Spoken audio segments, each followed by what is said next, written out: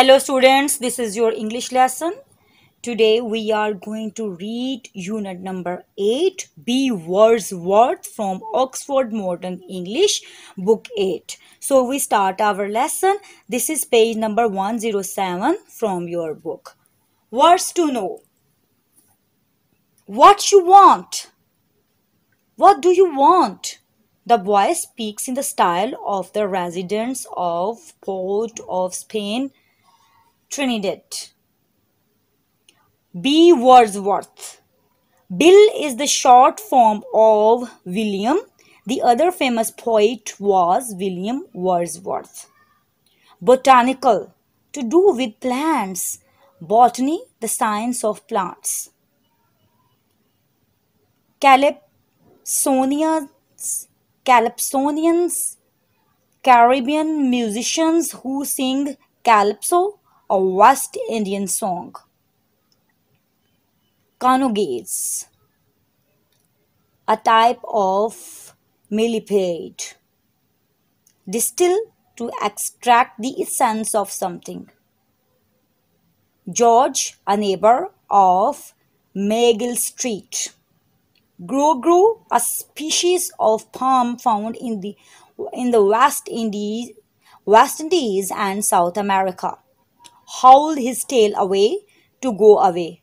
Liners, ocean, vessels, ships. Negotiate, arrange matters such as price, etc. Patronize, support, act as patron towards. Patron, regular customer, one who supports. Now come to the reading. Three beggars called punctually every day at the hospitable houses in Miguel Street.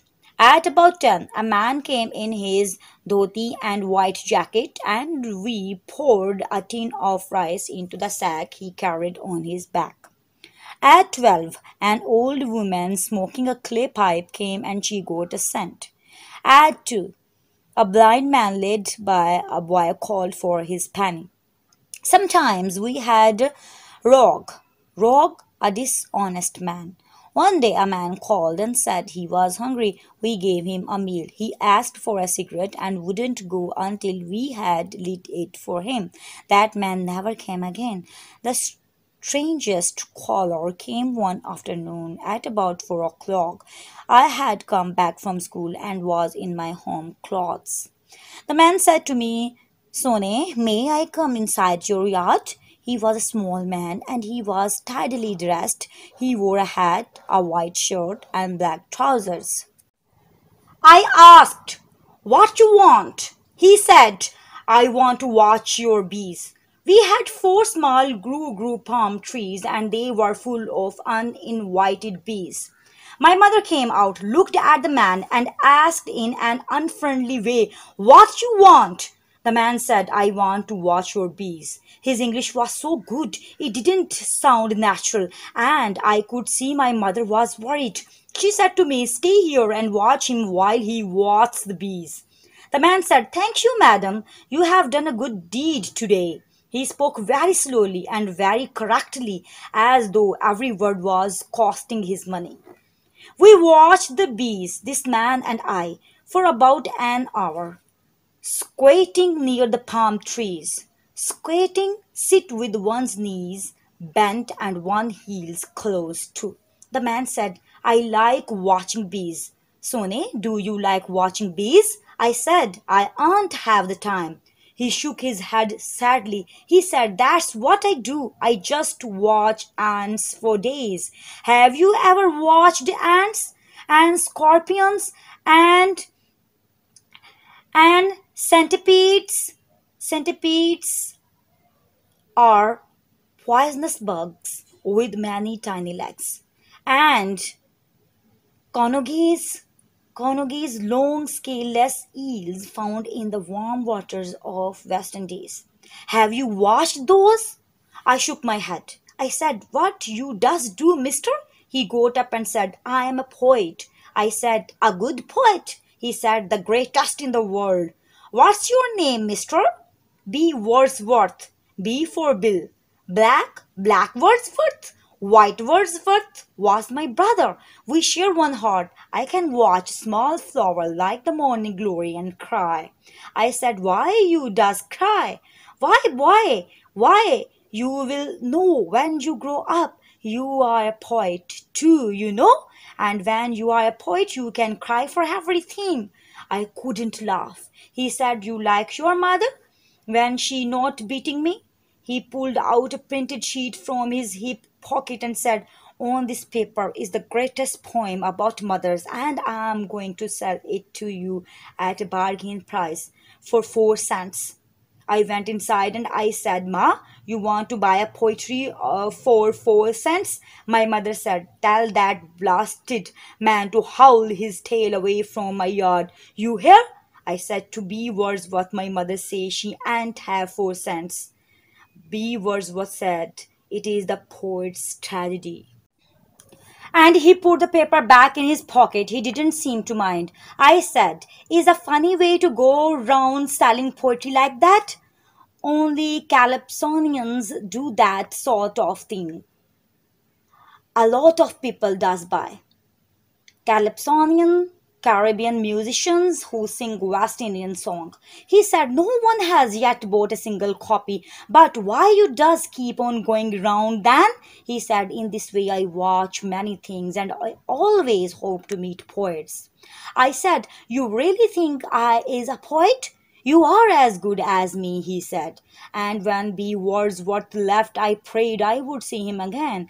About a week later, coming back from school one afternoon, I met him at the corner of Mayhill Street. He said, I have been waiting for you for a long time. I said, You sell any poetry yet? He shook his head. Uh, he said, In my yard I have the best mango tree in Port of Spain and how the mangoes are ripe and red and very sweet and juicy and very sweet and juicy. I have waited here for you to tell you this and to invite you to come and eat some of my mangoes. He lived in Alberto Street in a one roomed but in one roomed hut placed right in the center of the lot. The yard seemed all green. There were there was the big mango tree, there was a coconut tree, and there was a plum tree. The place looked wild as though it wasn't in the city at all. You couldn't see all the big concrete houses in the street. He was right. The mangoes were sweet and juicy.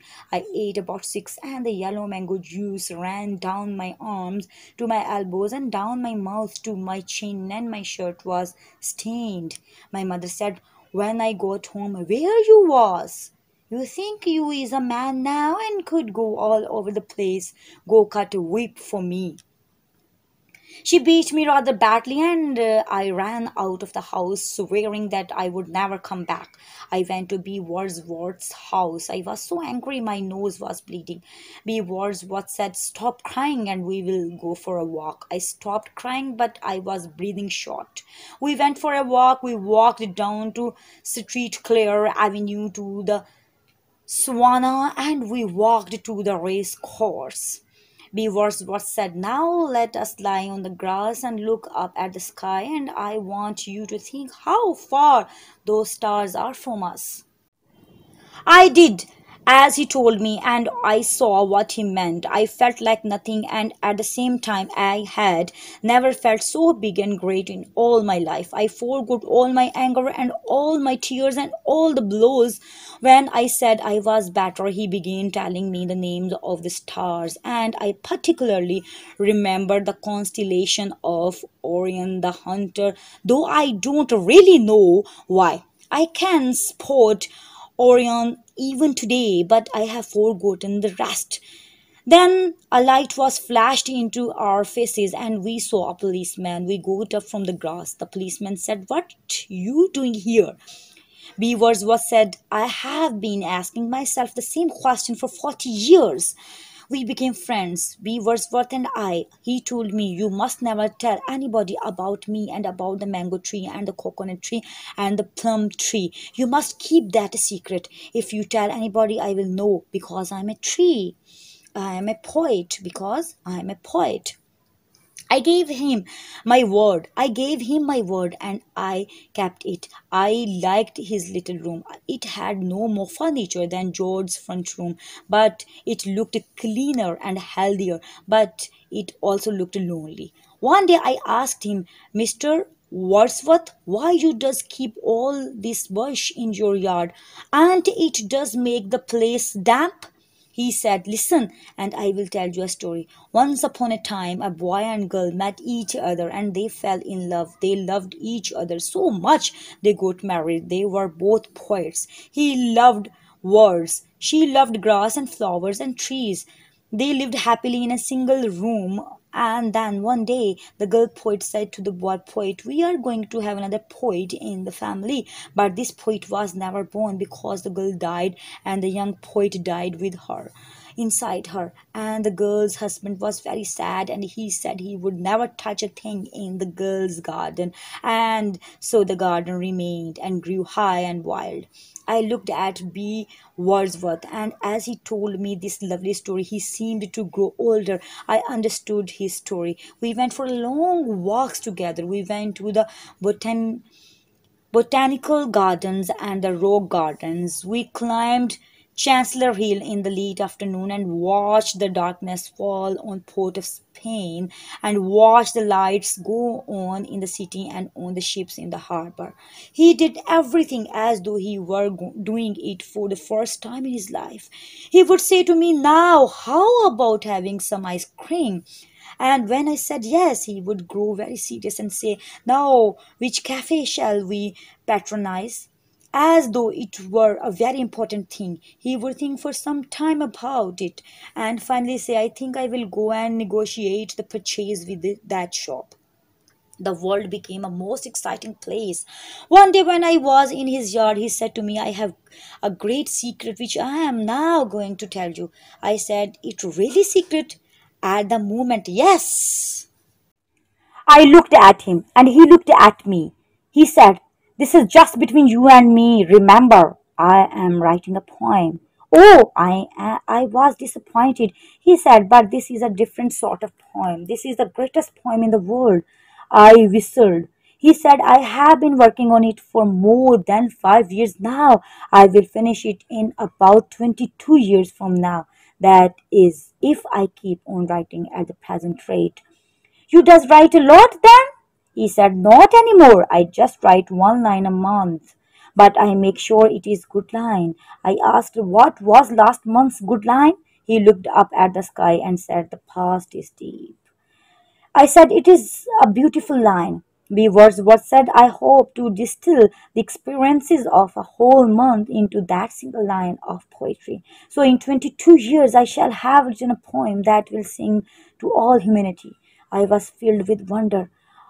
Our walks continued. We walked along the sea wall at Docksite one day, and I said, Mr. Wordsworth, if I drop this pin in the water, you think it will float? He said, This is a strange world. Drop your pin and let us see what will happen. The pin sank. I said, How is the poem this month? But he never told me any other line. He merely said, Oh, it comes, you know? It comes, or we would sit on the seawall and watch the liners come into the harbor. But of the greatest poem in the world I heard no more. I felt he was growing older. How you does live, Mr. Wordsworth? I asked him one day. He said, You mean how I get money? When I nodded, he laughed in a crooked way. He said, I sing calypsos in the calypso season and that lasts you the rest of the year. It is enough. But you will be the richest man in the world when you write the greatest poem. He didn't reply. One day, when I went to see him in his little house, I found him lying on his little bed. He looked so old and so weak that I found myself wanting to cry. He said the poem is not going well. He wasn't looking at me. He was looking through the window at the coconut tree and he was speaking as though I wasn't there. He said, When I was 20, I felt the power within myself. Then, almost in front of my eyes, I could see his face growing older and more tired. He said, But that, that was a long time ago. And then I felt it so keenly. It was as though I had been slapped by my mother. I could see it clearly on his face. It was there for everyone to see. Death on the shrinking face. He looked at me and saw my tears and sat up. He said, Come. I went and sat on his knees. He looked into my eyes and he said, Oh, you can see it too. I always knew you had the poet's eye. He didn't even look sad, and that made me burst out crying loudly. He pulled me to his thin chest and said, Do you want me to tell you a funny story? And he smiled encouragingly at me. But I couldn't reply. He said, When I have finished this story, I want, I want you to promise that you will go away and never come back to see me. Do you promise? I nodded. He said, Good. Well, listen. That story I told you about the boy poet and the girl poet, do you remember that? That wasn't true. It was something I just made up. All this talk about poetry and the greatest poem in the world, that wasn't true either. Isn't that the funniest thing you have heard? But his voice broke. I left the house and ran home crying like a poet for everything I saw. I walked along Alberto Street a year later, but I could find no sign of the poet's house. It hadn't vanished just like that. It had been pulled down, and a big two storied building had taken its place. The mango tree and the plum tree and the coconut tree had all been cut down, and there was brick and concrete everywhere. It was just as though B. Wordsworth had never existed. Now come to the exercises A comprehension. 1. Answer the following questions. A. What kind of person is considered a rogue by the narrator? Answer. The narrator describes a man who only came once and behaved somewhat strangely as an example of a rogue. B. Why does the narrator say his English was so good it didn't sound natural? Answer. The narrator says his English was so good it didn't sound natural because the poet speaks standard English. The narrator and the people around him, including his mother, do not speak in standard English. See, according to B. Wordsworth, what could a poet do quite easily? Answer is, according to B. Wordsworth, the poet could cry easily. D. Do you think the narrator's mother liked poetry? Give reasons for your answer. Answer. She does not have the time or opportunity to enjoy poetry. She does not want to buy a poem from the poet. So, she does not like poetry. E. What did B. Wordsworth give as a reason for traveling about? Answer. B. Wordsworth's reason for traveling traveling about is that he gets to watch many things. F. Why is B. Wordsworth's answer to the policeman's question funny? Answer. B. Wordsworth's answer is funny because he responds to the policeman's question about what they are doing in that particular place at that particular particular time as if the policeman is asking what his purpose is on earth G. How did the world become an exciting place for the narrator? Answer. The world became an exciting place for the narrator because the poet took him to see lots of places and did everything as though he were doing it for the first time in his life. H. When the narrator saw Wordsworth looking so ill, how was he affected? Answer. When the narrator saw Wordsworth looking so ill, he felt himself wanting to cry. This question is more difficult. Discuss it first. I, my mother said, tell that blasted man to howl his tail away from my yard. You hear, I said to be Wordsworth. My mother say she ain't have four cents. What does this exchange tell us about the mother and the boy? Answer. This exchange tells us that the mother has no interest in the poet and wants him to leave. She probably views him as just another collar or rog. It tells us that the boy does not wish to offend the man and that he is interested in him. 2. You will have noticed that many of the sentences spoken by the narrator when he is using direct speech, his mother and the policeman are grammatically wrong. Below there are 12 sentences, all of which are incorrect. Correct them and rewrite them in your book. Can you explain what is wrong with each other? A. What you want. Correct sentence is What do you want? Here, auxiliary do is missing. B. Stay here and watch him while he watch the bees. Stay here and watch him while he watches the bees. Subject verb agreement is missing here. C. I ain't have the time. Correct sentence is I don't have the time. So, here don't. We use don't with I. That is missing. D. What you does do, mister? Correct sentence is What do you do, mister? Here, placement of auxiliary and subject verb agreement is missing. E. Why you does cry? Correct sentence is Why do you do cry? Again, subject verb agreement is incorrect.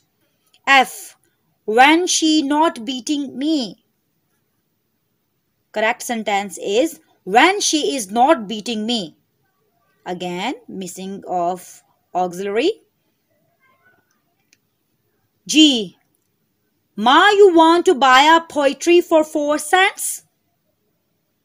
Here, Ma, do you want to buy a poem for four cents? Here, determiner noun agreement is missing. H. My mother say she ain't have four cents.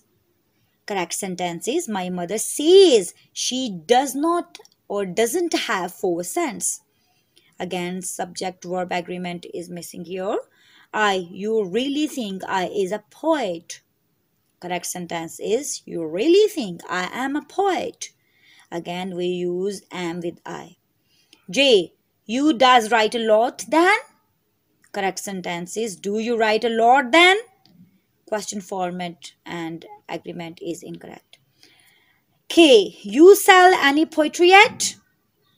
Correct is Have you sold any poetry yet? Here question format and tense is wrong. L.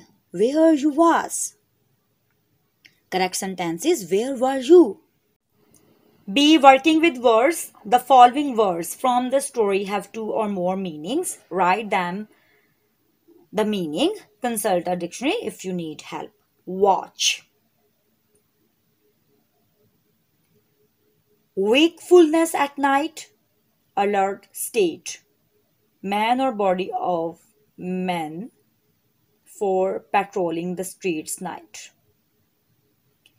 A small timepiece worn on the wrist or be vigilant. Round. Circular involving circular motion, entire circular object, allowance of something distributed. Palm. The part of the inner surface of the hand that extends from the wrist to the bases of the fingers and unbranched unbranched evergreen tree of tropical and warm regions with a crown of very long feathered or fan-shaped leaves. Stars, a fixed luminous point in the night sky which is a large, remote, incandescent like stars.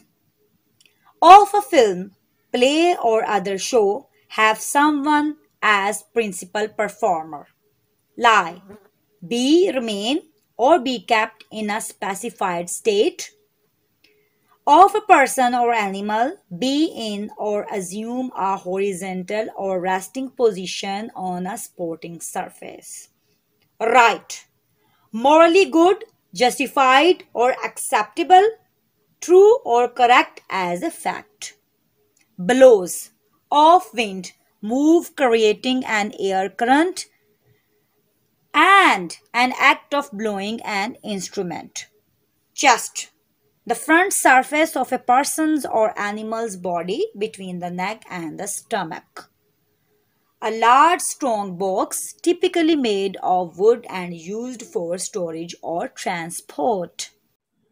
Be working with words. 2. For each of the following pictures, think of the correct word and a homophone. A.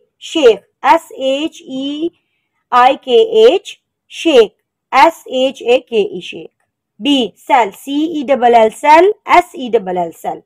C. Male. M-A-I-L. Male. M-A-L-E. Male. D. Sun. S-U-N. Sun. S-O-N. Sun. E. Sweet. S-W-E-E-T. Sweet. S-U-I-T-E. Sweet. Root. R-O-O-T. Root. R-O-U-T-E. Root. 3. There are hundreds of other homophones and homonyms in English. Can you think of any? Make a list. Students, first of all, let me clear about homonyms. Homonyms are words which have the same spelling but not the same meaning. Words which sound the same but have different spellings are called homophones. List of homonyms is lead, back, rest, saw, ford, sphere, head, ear, late, last, organ, pat, sound, found, spade, etc. And examples of homophones are deer, D-E-A-R, D-E-E-R, deer, floor, F-L-O-W-E-R, flower, F-L-O-U-R, P-L-A-N, plane, P-L-A-N-E, die, D-I-E, die, D-Y-E, die, right, W-R-I-T-E, and R-I-G-H, write. soul, S-O-L-E, S-O-U-L, soul, heel, H-E-A-L, and H-E-E-L, heel, tide, T-I-D-E, T-I-E-D, etc. 3. Fill in the blanks with IE or EI. A. Perceive. P-E-R-C-E-I-V-E. Perceive. B. R-E-C-E-I-P-T. Receipt. C. H-E-I-G-H-T. Height. D. S-H-E-I-K-H. Sheikh. E. F-I-E-L-D. Field. F-R-E-C-E-I-V-E. Receive. G. D-E-C-E-I-T. Deceit. H. A-C-H-I-E-V-E. Achieve. I.